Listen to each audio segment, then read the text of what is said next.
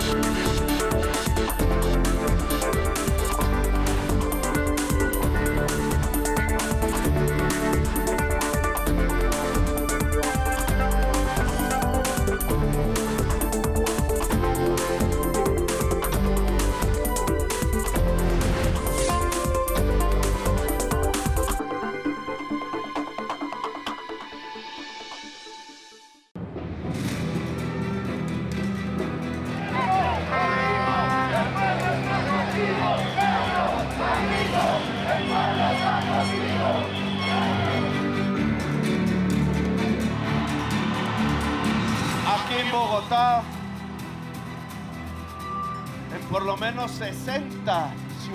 del país, con llenos como este, el que estamos presenciando, en apoyo a la lucha social, a las reformas democráticas y progresistas de Colombia, al gobierno del cambio. Gracias.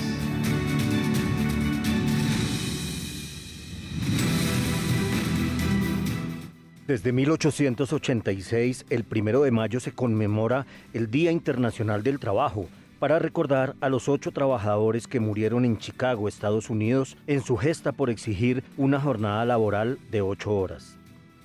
Se trata de una fecha especial en la que todos los trabajadores y trabajadoras en el mundo entero marchan pacíficamente para reivindicar sus derechos.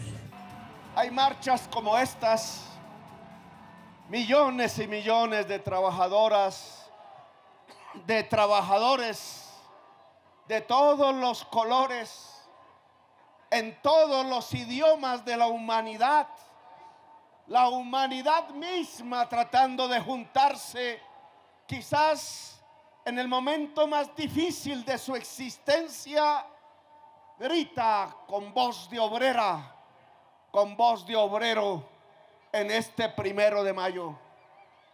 Es la juventud, es la niñez incluso allá en sus casas, las que anhela que esto, que aquí como un río humano fluye hacia la posibilidad de una victoria humana pueda triunfar, porque lo que triunfaría es la vida, la posibilidad de seguir existiendo ante un desafío que nos llega todos los días y de manera más grave.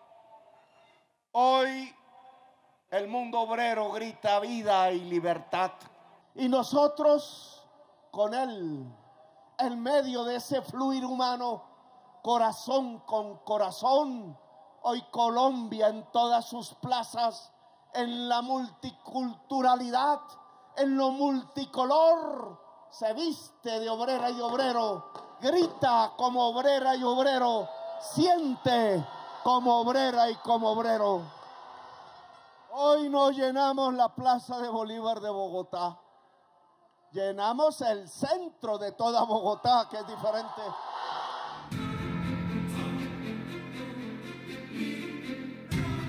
Quizás el mundo podría resumirse en una palabra. Quizás todas las consignas, todos esos colores pudieran resumirse en una sola palabra que reivindica la necesidad de la vida, la rebeldía, la bandera alzada y la resistencia. Esa palabra se llama Gaza, se llama Palestina, se llaman las niñas, los niños, los bebés que han muerto descuartizados por las bombas. Aquí delante de ustedes, el gobierno del cambio, el presidente de la República informa que mañana se romperán las relaciones diplomáticas con el Estado de Israel por tener un gobierno, por tener un presidente genocida. Creo que hoy la humanidad toda en las calles por millones está de acuerdo con nosotros y nosotros con ella. No puede ser, no puede volver no pueden llegar las épocas del genocidio, del exterminio de un pueblo entero ante nuestros ojos, ante nuestra pasividad. Si muere Palestina, muere la humanidad. Y no la vamos a dejar morir, como no vamos a dejar morir la humanidad.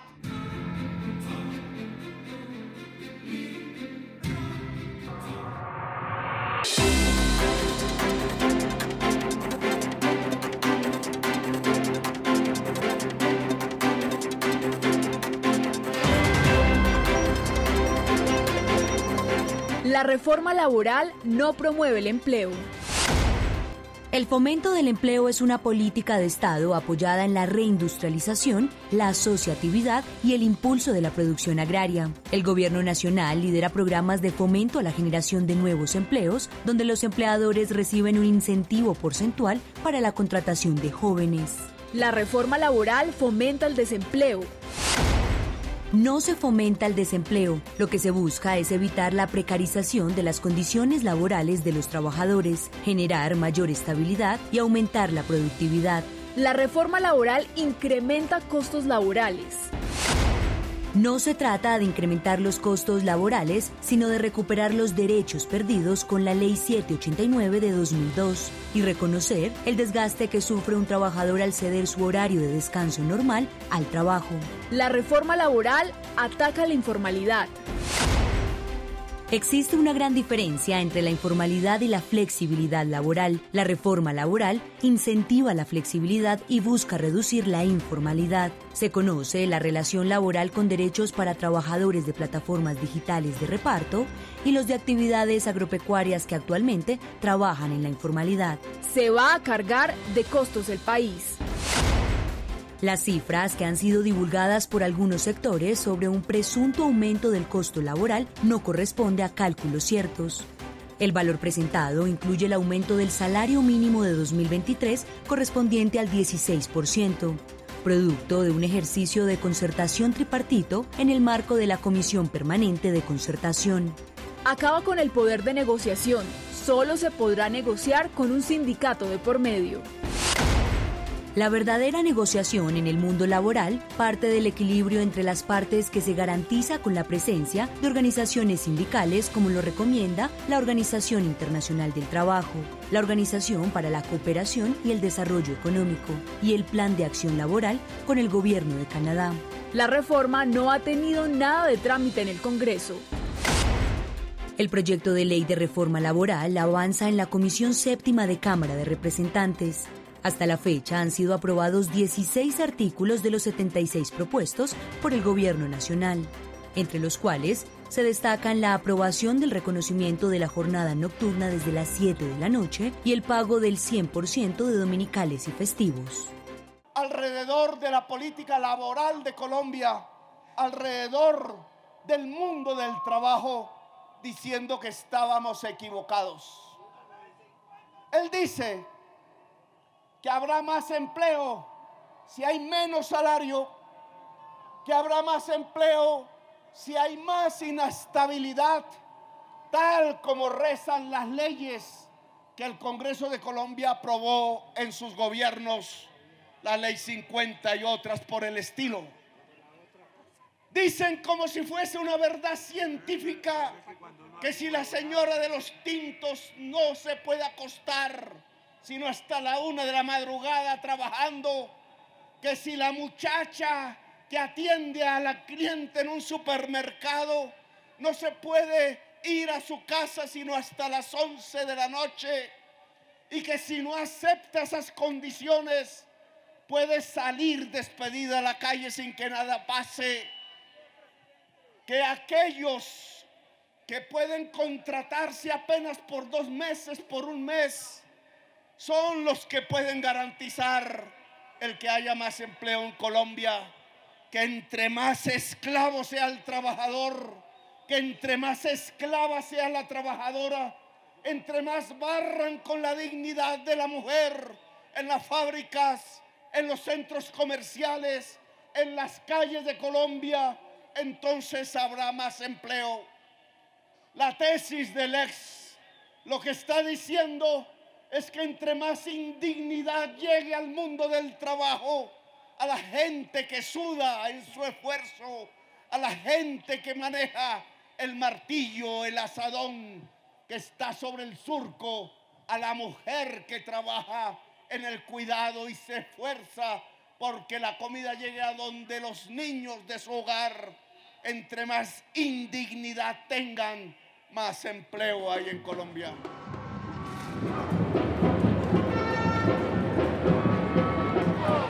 Defendiendo las reformas sociales del presidente Petro. Eh, llevamos casi 200 años de gobierno republicano que no ha hecho sino restarle, eh, digamos que, beneficios y conquistas de los trabajadores a nivel nacional. Apoyar a Petro a la reforma laboral por todos los beneficios que nos van a dar para, para el pueblo trabajador, para el pueblo que está luchando por sus derechos. Esa tesis que ante mayor esclavitud, más empleo, que ha sido vuelta ley de la República, que ha dominado durante este siglo el mundo de las relaciones laborales, que ha conducido, hay que decir, casi a la esclavitud a la gente que trabaja asalariadamente en este país, no es cierta, es una mentira.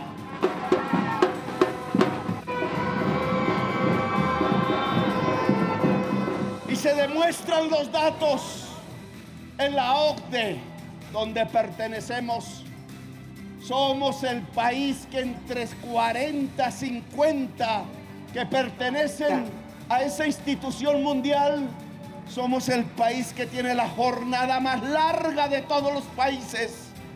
Más larga que México, más larga que en cualquier lugar, país de América Latina.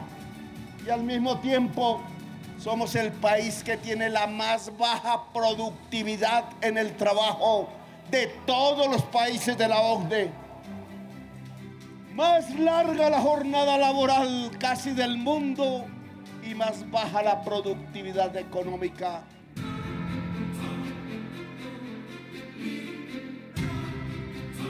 Por eso mismo dicen que no está bien que el médico y la médica y la enfermera pueden montarse en un caballo, en una mula, en una lancha, en una avioneta, en un jeep por las trochas de Colombia a llevar la vacuna y la medicina allá donde está la niña, el niño, la mujer parturienta o el viejo en las lejanas casas de los territorios excluidos de este país. Quieren desconcentrarlos aquí en el norte de Chapinero, donde están los cajeros automáticos, pero les aburre el que un gobierno pueda decir que el sistema de salud no es para unos pocos, sino que el sistema de salud debe llevar salud para la totalidad de la población colombiana. ¡Viva la reforma! Porque la salud no es una mercancía, no es como comprar cerveza o whisky fino el que tenga la plata para el whisky que lo compra y el que no tiene se contenta con la chicha. En el terreno de la salud no es así. Todos somos seres humanos en Colombia y por tanto, de acuerdo a la Constitución, somos portadores de derechos, somos propietarios de derechos y el derecho fundamental es el derecho a la vida, el derecho a la salud. La salud no puede ser un negocio, la salud tiene que ser el derecho universal de toda la población colombiana.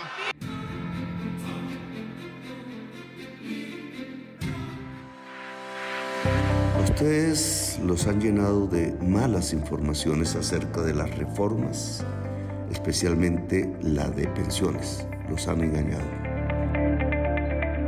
No es verdad que los jóvenes se van a quedar sin pensión. Al contrario, hoy, si no hacemos nada, la mayoría de los jóvenes quedarían sin pensión en un 80% del total. Con la reforma pensional, el 80% de los jóvenes tendrá pensión. No es verdad que se obligará a las personas a pasarse a los fondos privados de pensiones. Al contrario, la mayoría de los trabajadores y trabajadoras de Colombia podrán cotizar en Colpensiones. No es verdad que se expropiará a los ahorradores y los ahorros individuales de los cotizantes en los fondos privados de pensiones. Al contrario, ellos mantendrán esas cuentas administradas por los fondos privados y se mantendrán esos ahorros. No es verdad que se aumentará la edad de pensión. La edad de pensión para hombres y mujeres seguirá siendo la misma que hoy las leyes promulgan. Me parece que este gobierno ha hecho cosas muy importantes que los otros gobiernos no lo han hecho y todo lo que sea beneficio para el pueblo me parece que es importante. Por ejemplo, que no se va a tocar la edad, que la pensión va a ser a los mismos 57 años para eh, las mujeres y a los 62 años para los hombres. Claro que sí, lógicamente que el mayor de edad debe tener una pensión. Eh, sea de que haya cotizado o que el Estado le, dé algo de, de, pensión para poder sobrevivir. No es verdad que se eliminará la renta vitalicia cuando el cónyuge fallece. Al contrario, se mantendrá. Además, la reforma pensional beneficia a todas las mujeres de Colombia. Hoy solo se pensiona una de cada ocho mujeres nosotros buscamos que todas las mujeres se puedan pensionar, incluidas las mujeres amas de casa por su trabajo en el hogar.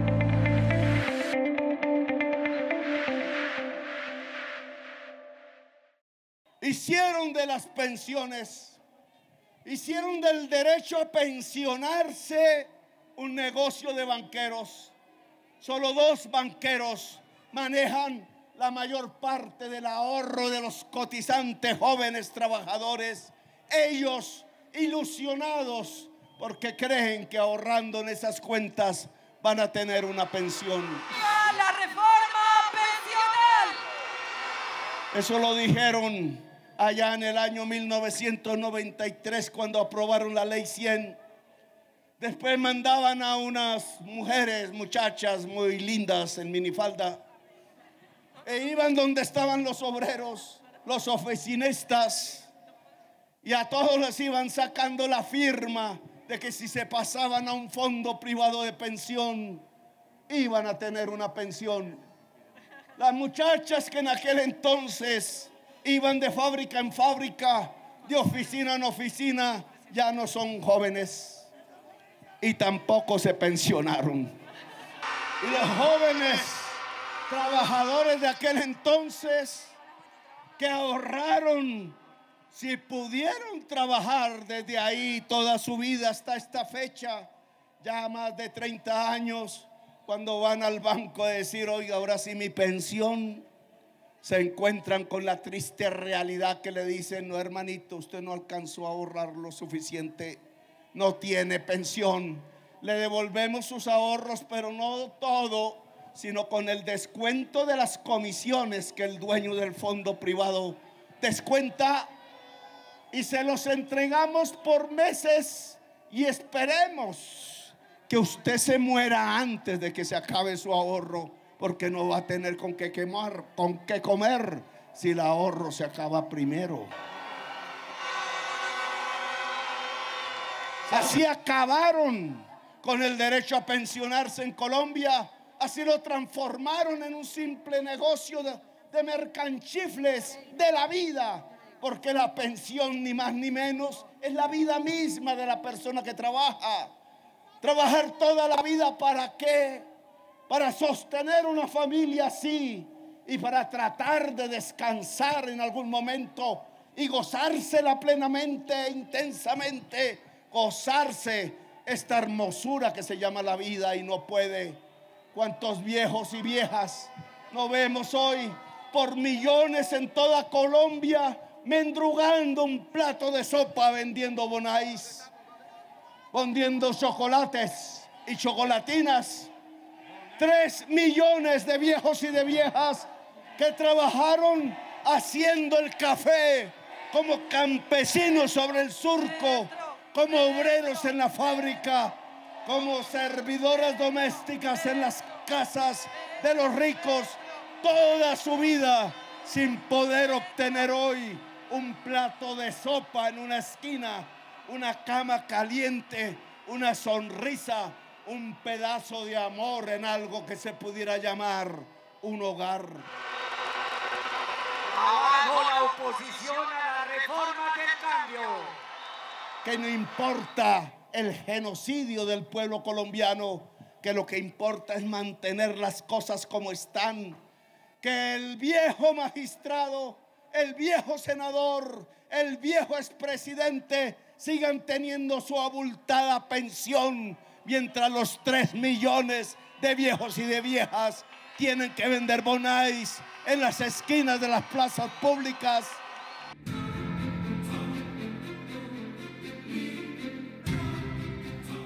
Todavía ustedes lo ven, nos quieren cercar, que nos movemos un pie aquí, ya nos cae la Procuraduría, ya nos cae no sé quién, ya nos cae si sé cuándo, que hacemos esta medida ya y nos aplastan, que presentamos tal proyecto de ley y llevan dos años y no lo cumplen, no lo votan, no lo discuten, no lo aprueban.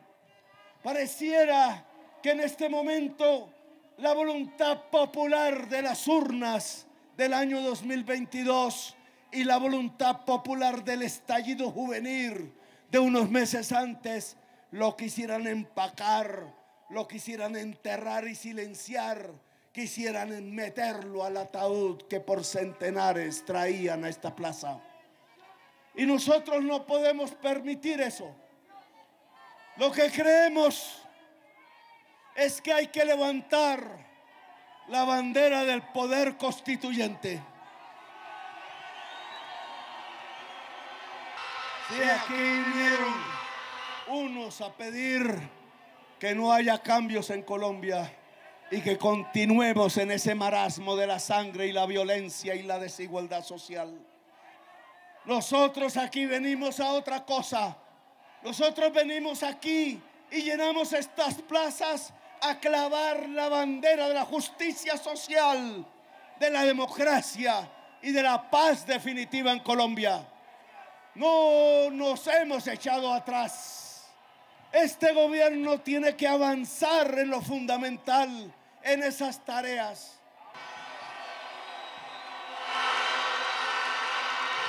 Ni un paso atrás, el pueblo vencerá ni un paso atrás. Hasta el pueblo vencerá. Hasta donde podamos hay que avanzar, quitando los obstáculos con valentía, sin miedos. Mientras se tenga al pueblo no hay que temerle a nada. Avanzar lo más. Avanzar hasta donde más se pueda desde el gobierno nacional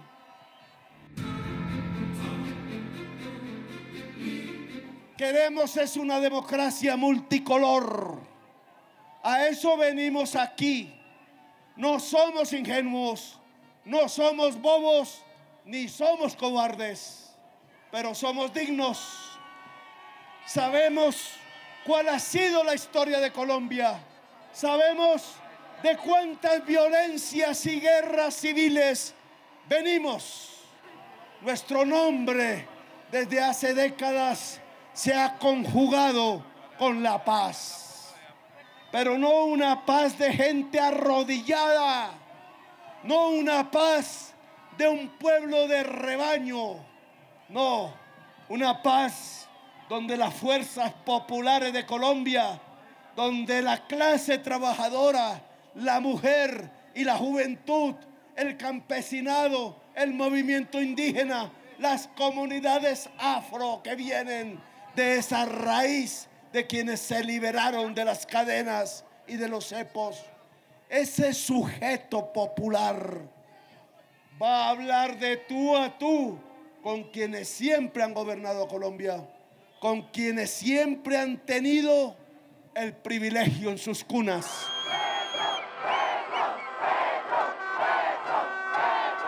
Es un momento de acuerdo nacional a lo que yo he invitado, pero no con el engaño en el que creían que el acuerdo nacional era volver a hacer lo mismo que ellos hacían.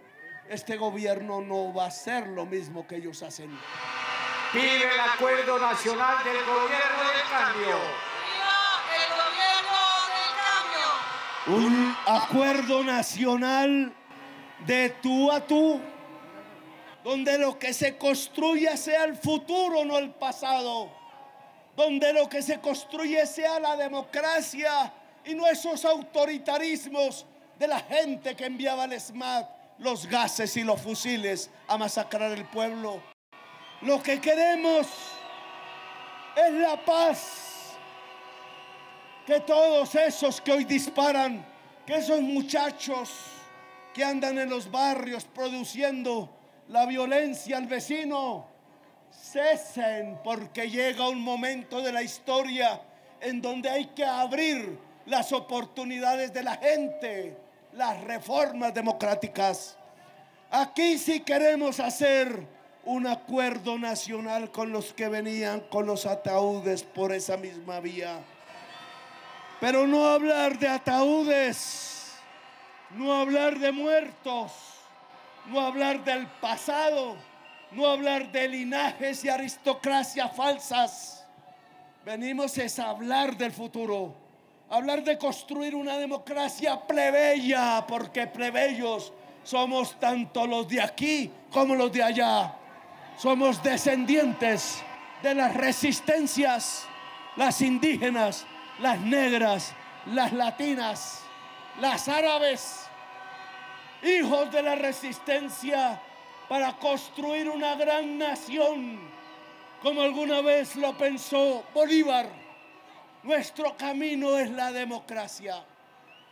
Y la democracia la hace el pueblo. Un acuerdo nacional es desatar el poder constituyente en Colombia. Y el poder constituyente es la capacidad de la población de decidir. Decidir en contra o decidir a favor. Decidir a favor de las reformas o decidir en contra de las reformas. Decidir por la paz o decidir por la muerte. Decidir por la vida de todos y de todas o decidir por la muerte de la nación. El poder constituyente es que la población tenga el poder, es que la gente, el pueblo tenga el poder. Poder constituyente no es una frase lanzada por ahí al calor de un discurso allá en Cali. Es una propuesta para la historia. Quiero decirle a todos los congresistas que cumplan con su deber, que ellos, el pueblo los eligió para que gobiernen por el bien de todos, no por el bolsillo de ellos. Hay que apoyar al gobierno, las reformas y el cambio no se hace de un día para otro, se hace con persistencia, con trabajo, con apoyo y con amor y por convicción a este gobierno que está dando el primer paso. No es fácil, pero, pero hay que luchar, hay que seguir adelante. Esta es nuestra respuesta.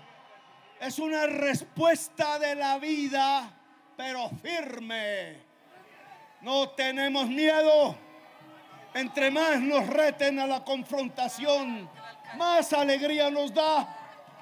No vamos a retroceder. La historia de Colombia ha cambiado definitivamente y no tiene reversa. Y esta es la demostración popular de esa decisión. Vamos por el camino del cambio.